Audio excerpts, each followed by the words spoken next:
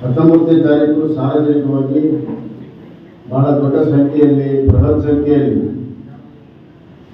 ಸಿದ್ದಾಂ ಸಾಣೂರು ತಾಲೂಕಿನ ಸಮ್ಮುಖದಲ್ಲಿ ನಾಮಪತ್ರವನ್ನು ಸಲ್ಲಿಸುವಂಥ ಕೆಲಸವನ್ನು ಮಾಡ್ತಾ ಇದ್ದೇವೆ.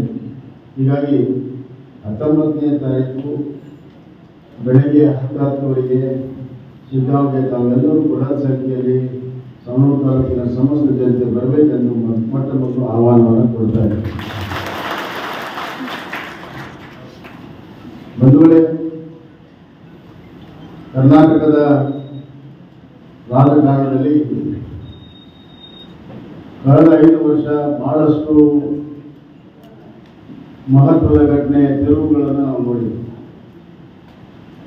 ನಾನು ನಿಮ್ಮೆಲ್ಲರ ಆಶೀರ್ವಾದದಿಂದ ಕಳೆದ ಬಾರಿ ಆಯ್ಕೆ ಆದ ಮೇಲೆ ನಮ್ಮ ಪಕ್ಷಕ್ಕೆ ಅತಿ ಹೆಚ್ಚು ಸಂಖ್ಯೆ ಇದ್ರು, ನೂರ ನಾಲ್ಕು ಸಂಖ್ಯೆ ಇದ್ರು ಕೂಡ. ಎಪ್ಪತ್ತರ ಸಂಖ್ಯೆಯಲ್ಲಿರುವಂತಹ ಕಾಂಗ್ರೆಸ್ನವರು ಜೆ ಡಿ ಎಸ್ ಜೊತೆಗೆ ಸೇರಿ ಅಪವಿತ್ರವಾದಂತಹ ಮೈತ್ರಿಯನ್ನು ಮಾಡಿಕೊಂಡು ಆದರೆ ಲೋಕಸಭಾ ಚುನಾವಣೆಯಲ್ಲಿ ಸಮಸ್ತ ಕನ್ನಡ ನಾಡಿನ ಜನತೆ ಇಪ್ಪತ್ತೆಂಟಕ್ಕೆ ಇಪ್ಪತ್ತೈದು ಲೋಕಸಭಾ ಸದಸ್ಯರನ್ನು ಆಯ್ಕೆ ಮಾಡುವ ಮುಖಾಂತರ ಜನ ಮತ ಯಾರ ಪರವಾಗಿದೆ ಅನ್ನೋದನ್ನ ತೋರಿಸ್ಕೊಟ್ಟಿದ್ದಾರೆ ಕನ್ನಡ ಜನ. ಹೀಗಾಗಿ ಅಪವಿತ್ರ ಮಾಹಿತಿ ಮುರಿದೋಗಿದೆ. ತದನಂತರ ಈ ರಾಜ್ಯಕ್ಕೆ ಒಂದು ಸ್ಥಿರ ಸರ್ಕಾರ ಕೊಡಬೇಕು ಅಭಿವೃದ್ಧಿ ಪರ ಸರ್ಕಾರ ಕೊಡಬೇಕು ಅಂತ ಹೇಳಿ ಹಲವಾರು ಜನ ನಮ್ಮ ಪಕ್ಷವನ್ನು ಸೇರಿಕೊಂಡು ನಾವು ಸರ್ಕಾರವನ್ನು ಮಾಡಿದಂತಹ ಸಂದರ್ಭದಲ್ಲಿ ಬಹಳ ದೊಡ್ಡ ಪ್ರಮಾಣದ ಕೋವಿಡ್ ಹಾವಳಿ ತಾವೆಲ್ಲ ನೋಡಿದ್ವಿ ಈ ಕೋವಿಡ್ ಮಹಾಮಾರಿ ದೊಡ್ಡ ಆತಂಕವನ್ನೇ ಸೃಷ್ಟಿ ಮಾಡಿದೆ. ಆದರೆ ಸನ್ಮಾನ್ಯ ನಮ್ಮ ಪ್ರಧಾನಮಂತ್ರಿಗಳಾದ ನರೇಂದ್ರ ಮೋದಿಜಿಯವರು ಮತ್ತು ಯಡಿಯೂರಪ್ಪನವರು ಇದನ್ನು ಸಮರ್ಥವಾಗಿ ಎದುರಿಸಿ ಕೋವಿಡ್ ಅನ್ನ ಸಂಪೂರ್ಣವಾಗಿ ನಿಯಂತ್ರಣವನ್ನು ಮಾಡಿ ಅವ್ರಿಗೆ ಟೀಕೆ ಮಾಡೋದಕ್ಕೇನು ಇಲ್ಲ. ಹೀಗಾಗಿ ಮನಬಂದಂತೆ ಮಾತಾಡ್ತಾರೆ. ಅದ್ರ ಬಗ್ಗೆ ಕೆಡಿಸ್ಕೊಳ್ಳೋದು ಹೋಗ್ತಾರೆ. ಯಾರು ಅಭಿವೃದ್ಧಿ ಮಾಡಿದ್ದಾರೆ, ಯಾರಿಲ್ಲ ತಮಗೆಲ್ಲ ಗೊತ್ತಿದೆ. ಒಬ್ರು ಹೇಳ್ತಾರೆ, ನಾನು ಮಾಡಿದ ಕೆಲಸ ಬೊಮ್ಮಾಯಿಯವರು ಅಡಿಗರು ಮತ್ತು ಉದ್ಘಾಟನೆ ಮಾಡಿದ್ರು. ನನಗೆ ನಗಬೇಕು ಏನು ಬೇಕು ಯಾಕಂದ್ರೆ ಸನ್ಮಾನ್ಯರು, ಅವರು ಶಾಸಕರು ಇದ್ದಿದ್ದು ಲಾಸ್ಟ್ ಎರಡು ಸಾವಿರ ಇಸ್ವಿ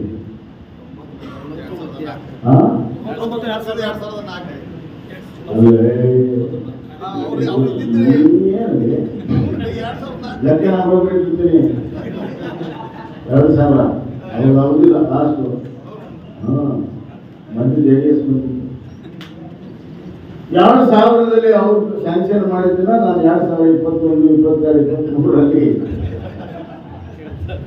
ಅಡಿಯಲು ಮಾಡಿಸ್ಬೋದು ಇದು ಉತ್ತರ ಕೂಡ ಅವಶ್ಯಕತೆ ಇಲ್ಲ.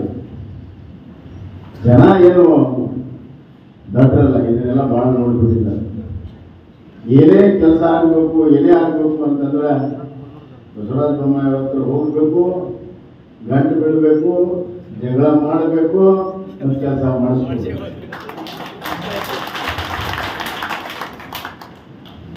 ನನಗೂ ನೀವು ಜಗಳ ಆಗಿಲ್ಲ ಸಮಾನ ಹಂಗೆ ಬಂದು ಹಂಗೆ ಬಂದ್ರೆ ಹಂಗೆ ಬರೋದಿಲ್ಲ ಅಂತ ಒಂದು ಬಂದು ಹಂಗ ಹಿಂಗ ಅಂತಂದಾಗ ಅದ್ಯಾಕೆ ಹಿಂಗ ಅಂತ ನಾನು ಕೇಳಿ ಎಲ್ಲ ಮಾಡಿ, ಆಮೇಲೆ ನಿಮ್ಮ ಕೆಲಸ ಮಾಡಿಕೊಟ್ಟಾಗ ನನಗೆ ಸಮಾನ ಇದು ಅನ್ಯೋನ್ಯವಾಗಿರುವಂತ ಒಂದು ಸಂಬಂಧ ಬೆಳೆದ್ಬಿಟ್ಟಿದೆ. ಹೀಗಾಗಿ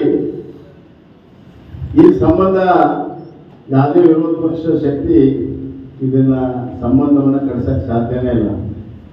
ಇದು ಭಗವಂತ ಮಾಡಿರುವಂತ ಋಣಾನುಬಂಧ, ನಮ್ಮ ಋಣಾನುಬಂಧ.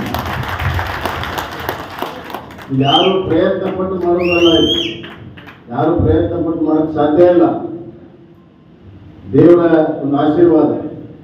ಅದಕ್ಕೆ ನನಗೆ ನಮ್ಮ ಇವ್ರಿಗೆ ಹೇಳ್ತಿರ್ತೇನೆ.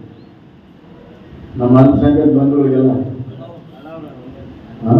ಅಣ್ಣಾವ್ರಿಗೆ मेरा रिश्ता हेड ऑफिस में है ब्रांच ऑफिस में नहीं ಅಂತ ಹೇಳ್ತೀನಿ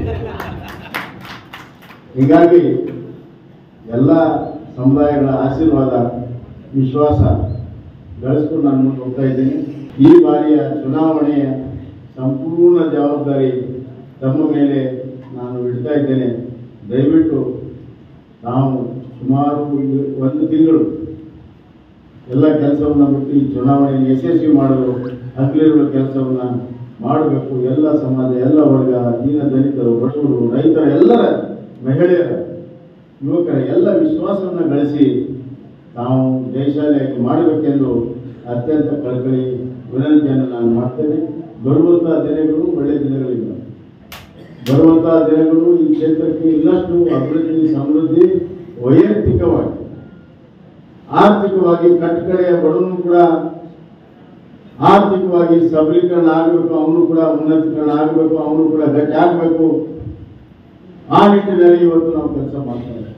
ಮಳೆ ಬಂದಾಗ ಜೊತೆಗೆ ನಿಂತು ಸುಮಾರು ಐದು ಸಾವಿರಕ್ಕಿಂತ ಹೆಚ್ಚು ಮನೆಗಳನ್ನು ಪುನರ್ ನಿರ್ಮಾಣ ಮಾಡುವಂತಹ ಕೆಲಸವನ್ನು ನಾವು ಮಾಡಿದ್ದೇ ಇದಕ್ಕೆ ಸಾಕ್ಷಿ ಅಂತ ನಾನು ಹೇಳಲಿಕ್ಕೆ ಇನ್ನ ಹೊರಗಡೆ ತಾಲೂಕಿನವ್ರು ಬಂದು ರಾಜಕಾರಣ ಮಾಡಕ್ಕೆ ಬರ್ತಾರೆ.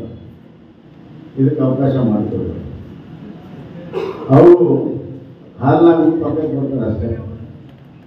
ಆಮೇಲೆ ಅವರು ಚುನಾವಣೆ ಆದಮೇಲೆ ಅವ್ರೇನು ಇಲ್ಲಿ ಸುಖ ದುಃಖ ಕೇಳೋರಿಲ್ಲ ನಿಮಗೆ ಅವ್ರಿಗೆ ಸಂಬಂಧ ಇಲ್ಲ. ಹೀಗಾಗಿ ಅವ್ರ ಮಾತಿಗೆ ಕೇಳ್ಕೊಳ್ದೇನೆ ನಾವೆಲ್ಲ ಹೆಂಗೆ ಅಂತಂಬರಾಗಿ ಮೊದಲಿಂದಲೂ ಇದ್ದೇವೆ.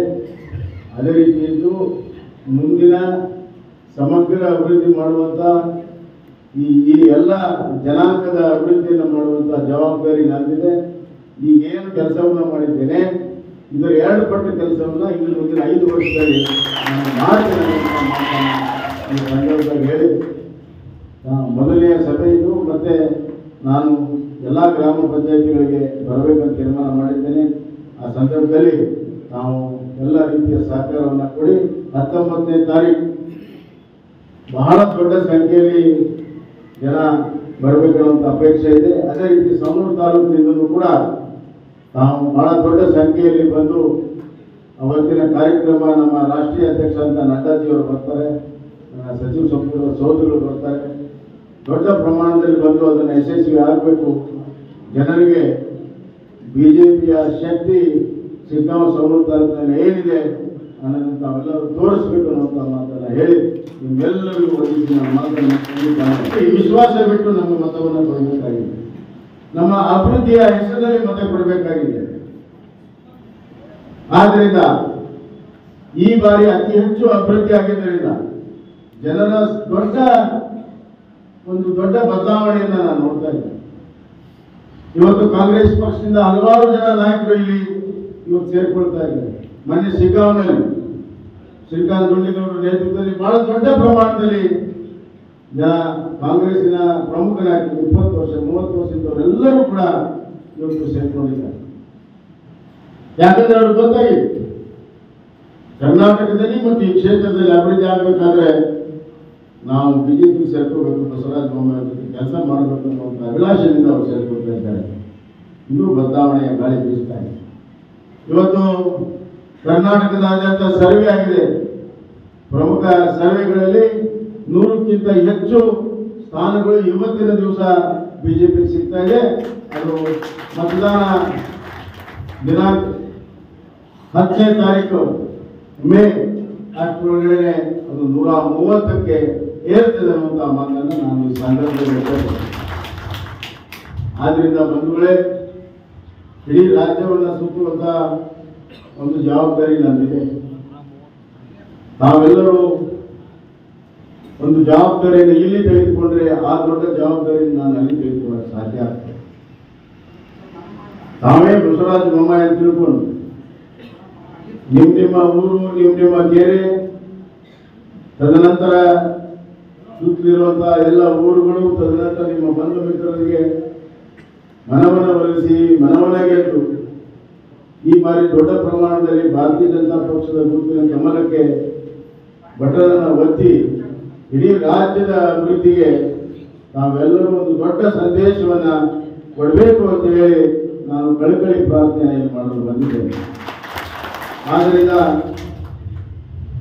ಸಿಗಾಂ ಸಮೂಹ ಕ್ಷೇತ್ರದಲ್ಲಿ ಇರುವಂತಹ ಜಡ್ಪಿಯಲ್ಲಿ ಸಮೂಹ ತಾಲೂಕಿನಲ್ಲಿ ಎರಡು ಜಿಲ್ಲಾ ಪಂಚಾಯತ್ಗಳು ಬರ್ತದೆ.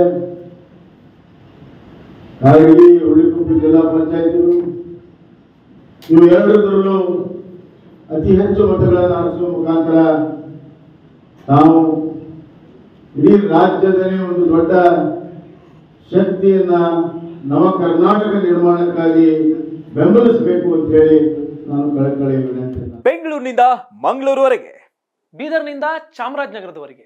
ನಿಮ್ಮ ಸುದ್ದಿ ನಿಮ್ಮದೇ ಭಾಷೆಯಲ್ಲಿ. ಕರ್ನಾಟಕ ತಕ್.